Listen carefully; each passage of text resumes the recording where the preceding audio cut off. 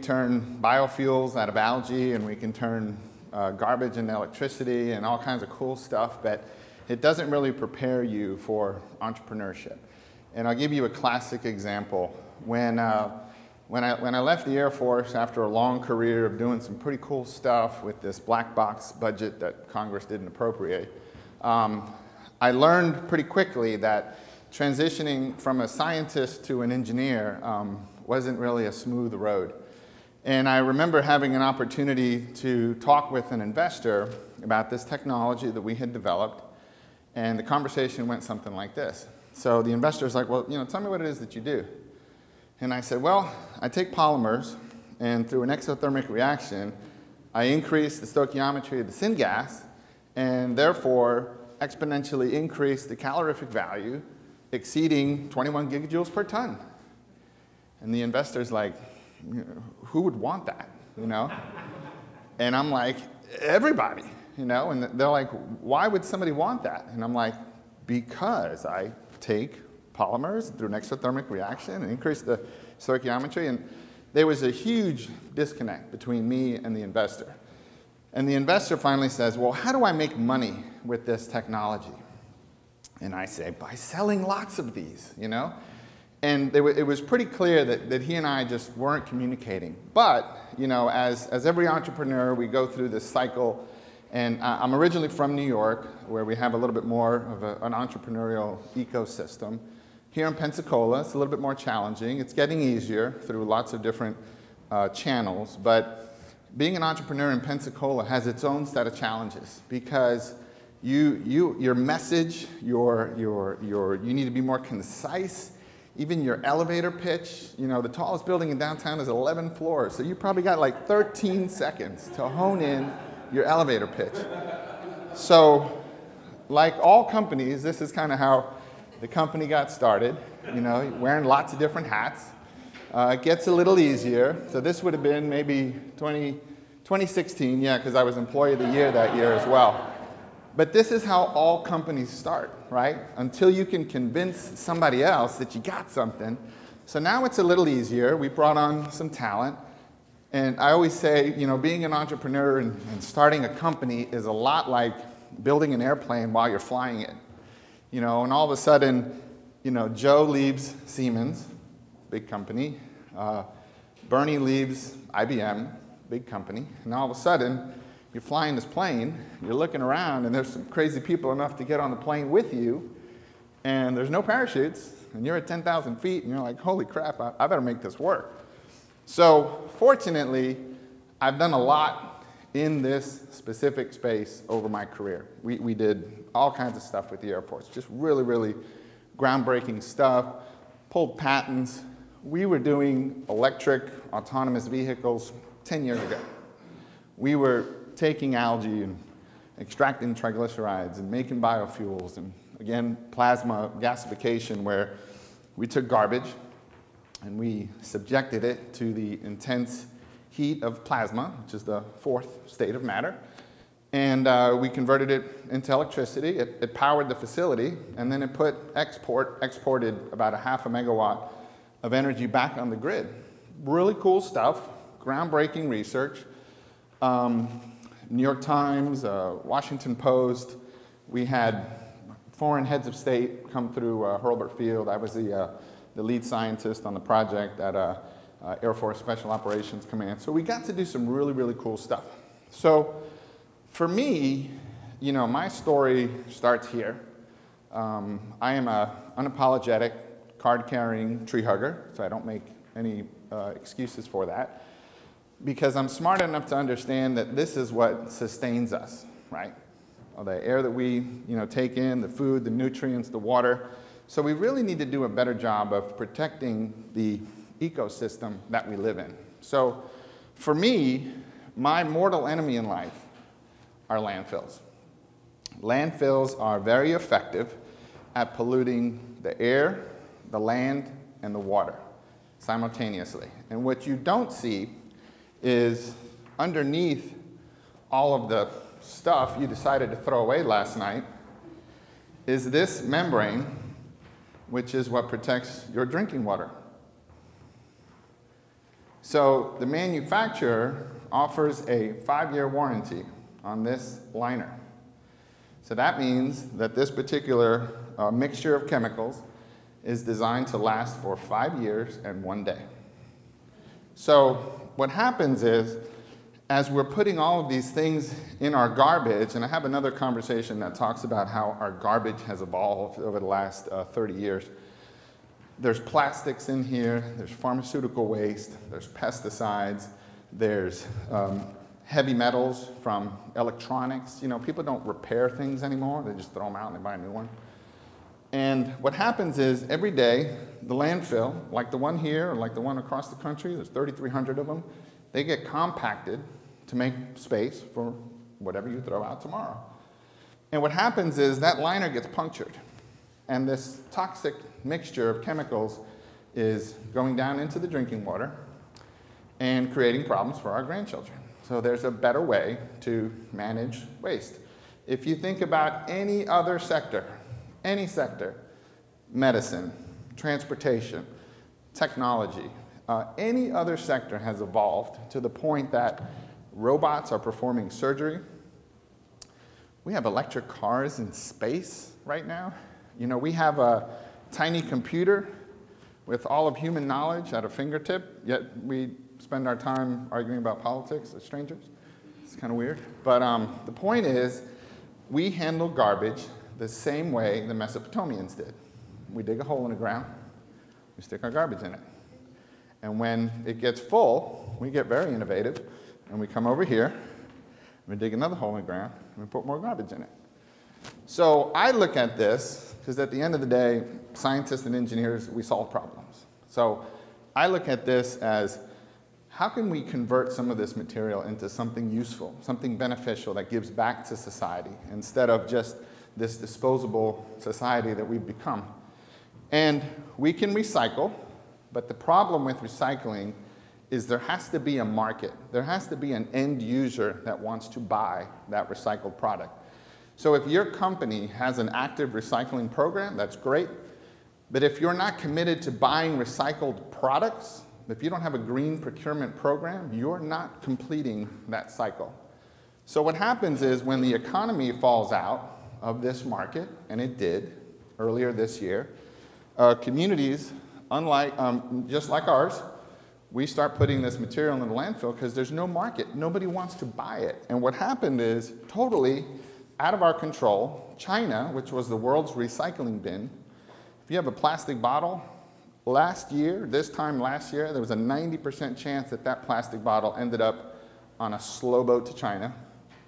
And uh, it, it went into the economy of China. Well, that door has been shut. So we used to be at a 30% recycling rate about half of that material is now going back into the landfill because there's no market. Nobody wants to buy it. So I always say if you want something dirt cheap, start with dirt. So we looked at how can we take garbage, which has a calorific value, which means there's energy density in that waste stream, and turn it into something that we can use. So through a partnership with the U.S. Army Corps of Engineers, uh, we did a, what's called a CRADA, a Cooperative Research and Development Agreement, and we looked at um, how can we take that biomass and convert it into a solid fuel that can now displace the burning of fossil fuels. So the idea was we eliminate the pollution associated with landfills and we eliminate the pollution associated with burning of fossil fuels. Well, so how do we do that? Well, it's pretty easy. I'm glad you asked.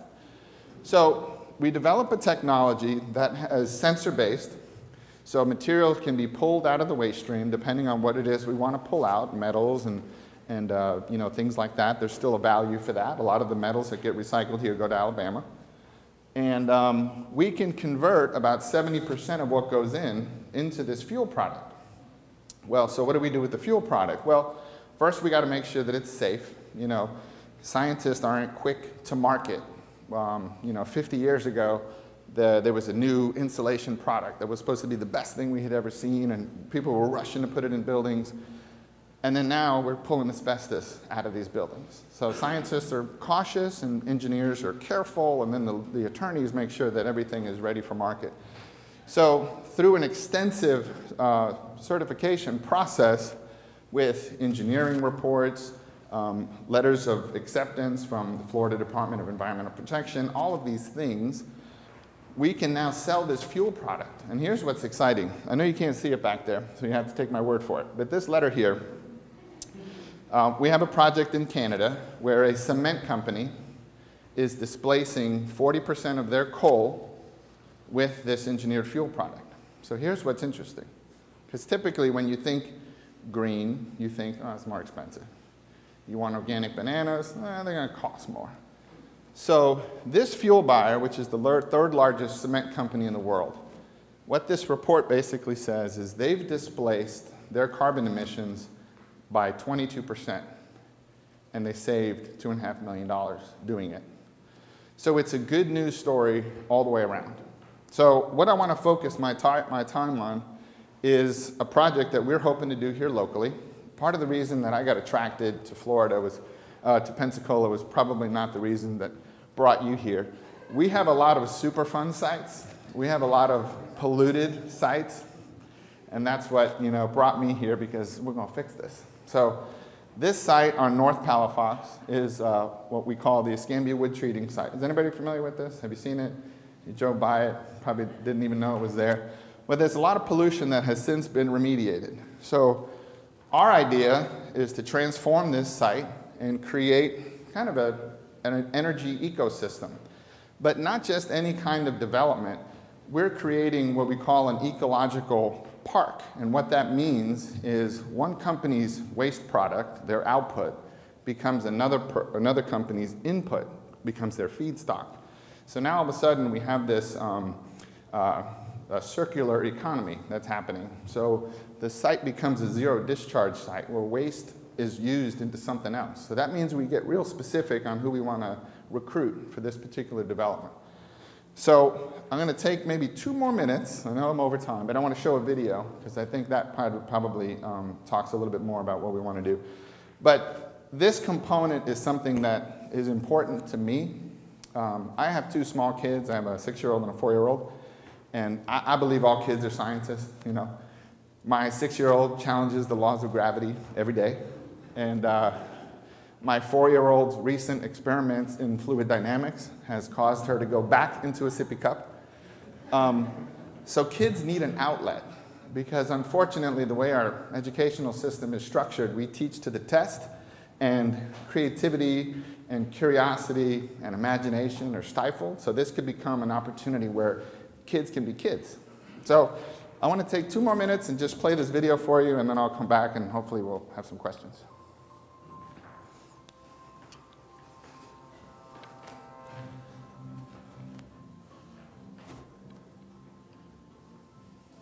The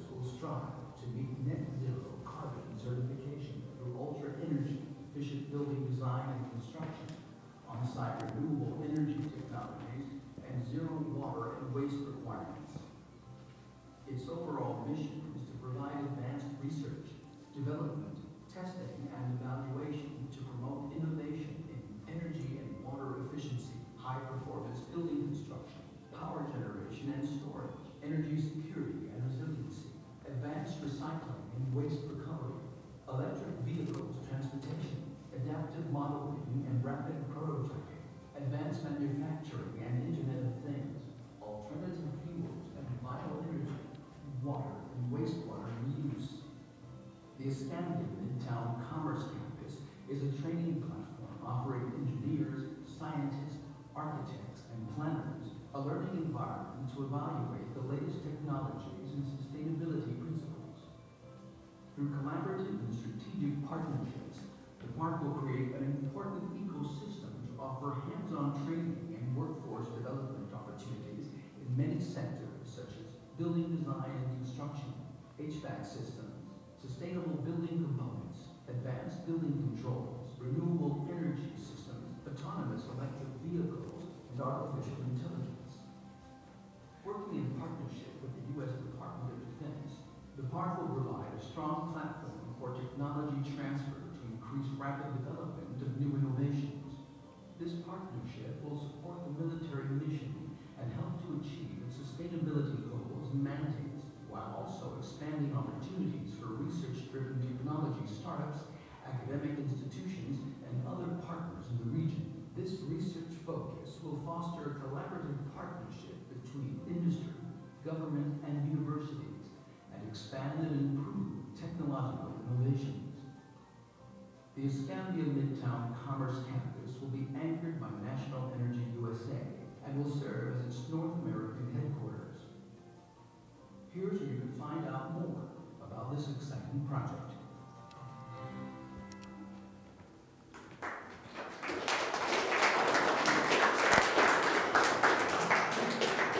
So, so the tagline here with, you know, think big and work collaboratively and, and build sustainably, and, you know, the, the project itself, the, we call it EMC squared, which is obviously Einstein's theory of relativity. This is what happens when you put a scientist in charge of marketing. But the idea is to, to build an ecosystem for you know, innovative companies in what we call the RDT&E space, the research, development, test, and evaluation. So I'm leveraging my relationships with the Department of Defense, which is the largest user of energy, and hopefully a lot of the people in this room that might have an interest in this. But um, I'm more interested to get some feedback than, and uh, do I turn it over for questions? Are we moderating questions? Yeah, there's a question. Yes, ma'am. What is your timeline for completing each phase? I saw three in that map. So it's a great question. Here, here's what's happening. I, I call this, uh, national energy is, is in what I refer to as this Uber moment. When Uber first came on, nobody wanted them, except for the end user. The end user was excited. But there was a traditional, you know, taxi cab model that was in place, entrenched for decades. And here comes Uber disrupting this entire market through innovation and efficiencies and modernization. And there was resistance to Uber. There were lawsuits. There were all kinds of things. And then right on the heels was Airbnb, again, disrupting a very entrenched market. We come in and we're in this Uber moment because what happens is communities like ours and like all over the country, in my opinion, as a scientist, are profiting off of pollution. They take garbage, they collect it, they put it in a hole, they let our kids worry about it, and they make money in that process. So we come in and we're going to disrupt this whole market. So as you can imagine, there's a lot of resistance because people are like, well, hang on a minute, you know, you're, you're dipping in my, in my, my wallet. So right now, our challenge as an anchor tenant is to be able to secure the garbage. And you would think that would be easy, right? Let me have your garbage. But it's, it's actually pretty, pretty challenging. From a development perspective, our, our development partners, a company called Parkside Partners out of Atlanta, we're, we're not developers. We got enough stuff to do. Um, they anticipate a five to 10 year build out of that park. But it depends on a couple of different things. You got to get rail access and different things like that. But they envision about a 10 year build out. So obviously, market forces, you know, all kinds of things that are out of their control and what the economy does and all this other stuff. But I think we got a lot of good things going here in terms of, uh, of development. I, you know, I, I give talks like this all over the place, and people are like, "You're from where?" and Pensacola, what? And so I just refer to us as Silicon Bayou, you know, because that model started with the Navy, with a small company called Hewlett Packard, with a university, which at the time, before Stanford became Stanford University. So here we're trying to pull in all these pieces and see, and see what happens. So you got to think big, right? Yes, sir. Not a serious question, but in your video, were those reindeer in the pond? Or, or is it the coffee? I think, I think that might be the coffee. Yeah. I think you had your share of a million cups. Was there a grow room? What's that? Like a grow room? There was a grow room. Yeah. What they grow, I don't know. That's not, that's not my bailiwick. Yes, ma'am. Hi there. Actually, a couple questions. Who are your competitors in the recyclable energy field? And, um, well, actually, let's go with that. Okay. My biggest competitor is the landfill, first and foremost, because again, we're disrupting this model, and landfill managers are kind of like, well, hang on a minute here. You know, this is cool, I like what you're doing, but you're also impacting my budget. So that's our biggest competitor. Our second biggest competitor, uh, there are other companies that will take garbage and they will burn it and produce electricity, which is not what we do, just to be clear. Um, as bad as I think landfills are for the environment, I actually think incinerators are worse. Incinerators are just a lazy reaction. Yeah, you know, recycling's hard. Yeah, you know, waste minimization is hard. Just stick it in the furnace and we'll just burn it. So that, those are our two competitors. So we come in to basically disrupt that market and just, you know, turn it on its head. So Yes, then ma'am. the, the next question is, uh, instead of distribute, well, you have actually two distribution issues, sort of a reverse distribution of picking up the garbage. And then, once the garbage has been processed, uh, then how do you distribute it to the end user? So two good questions. So maybe, maybe I rushed a little bit. So this is our end product. It's an engineered fuel. It's been designated as an engineered fuel. I'll pass this around. This is, uh, what makes this fuel different is it is in fact a solid fuel. You don't smoke it. It is a solid fuel. The EPA has designated it as a non-hazardous secondary material. That allows somebody to buy it and put it in a closed coupled gasifier, a stoker boiler like we have here at the Crist plant in Gulf Power. So we have two models. We have, in Canada, we have three because they have a carbon credit model. Uh, we have one model where we have a revenue coming in. Somebody is paying us a tip fee to process waste. We, uh, we have an all-in cost of about $32 per ton, which doesn't include um, debt service. Uh, the tip fee at the local landfill is $45. So in this model, we could obviously offer a discount to the, to the, the feedstock provider. And then the second line in our business model is we sell this fuel. So this fuel, according to the Southern Research Institute, who tests for all the major power plants in the southeast, uh, should generate about $66 per ton because it's indexed back to the calorific value of the fuel. So we're selling it at $50. So our model has enough fluctuation in there for any dips in, in the market, with, which, with, with, which may happen, frankly. Yes, ma'am. How long does it take from the time you receive the trash to the time that you have product? Oh, this is, these are great questions. So, from, from the point that the garbage enters into the tip floor to the time it goes through the process and we actually produce the engineered fuel is 22 minutes. And the majority of that time, the garbage is sitting inside of a vessel under high temperature and steam so that we can cook the waste. So we, what we're trying to do is we're trying to eliminate the pathogens that are in the, the chicken you threw out last night or the bandages that you threw out last night. There's pathogens in that material. So we're cooking the waste inside of a vessel. So about 22 minutes is the residence time. Yes, sir. What caused the collapse of the recycling industry worldwide, and how does that present an advantage or disadvantage for your place? So China is the bottom line. China uh, has a growing economy. They're more environmentally aware. All of our garbage that we, were, we thought we were recycling was going in an incinerator in China to produce electricity to meet the global demand for, for energy in that country. So the way it disrupts our market, there's now more garbage going into the landfill, which now, if you had a capacity for your landfill that reached capacity at 2030, now it's like 2022. So now you're like scrambling if you're a landfill manager and you're opening up another cell, you know, because you don't have a choice. Um, the recycling market actually uh, benefits us. It used to be that a ton of cardboard, uh, what we call OCC, would generate in the marketplace about $80 per ton. Today, that same material, landfill managers have to pay to get rid of it. It's literally going from Pensacola all the way to the West Coast, and then it's stacking up at ports in, in Seattle and, and uh, in that area. So it helps us because we can take that material, because otherwise it's going into the landfill. So just to be clear, if you have two bins at your house, we're, we're talking with the one that's going to the landfill. So we don't disrupt this model. That, that material is still going to the traditional market. Yes, sir. So are you separating the organic material from the non-organic material like robotically, or is that humanly done? or how- Um, so it's all automatic. So this is a safer work environment